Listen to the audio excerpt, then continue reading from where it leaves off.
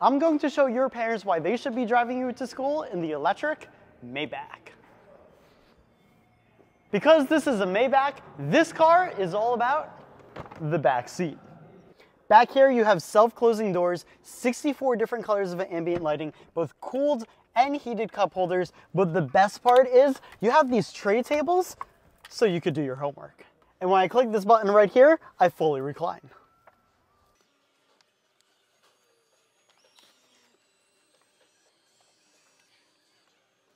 Now that's cool.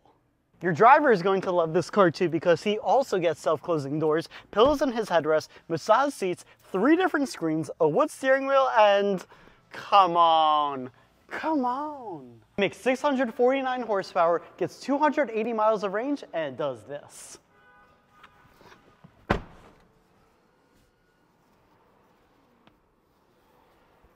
And at $206,000,